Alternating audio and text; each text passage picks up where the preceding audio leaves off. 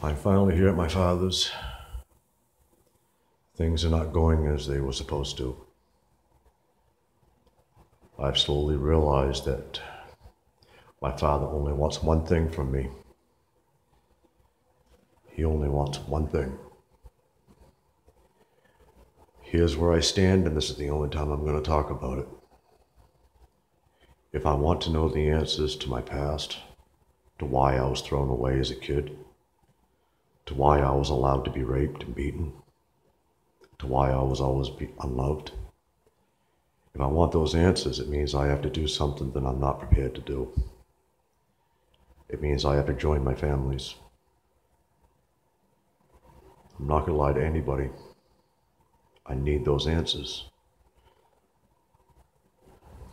But I don't want to do what they're asking. I don't know what to do. I do not know what to do. I'll know by two o'clock. That's the deadline he gave me. Either at 2.01, I'll be on my way back to Maine and to fight to rekindle the love with Ashley, or I'll join my families here and do things that you people don't want me to do. I'm sorry.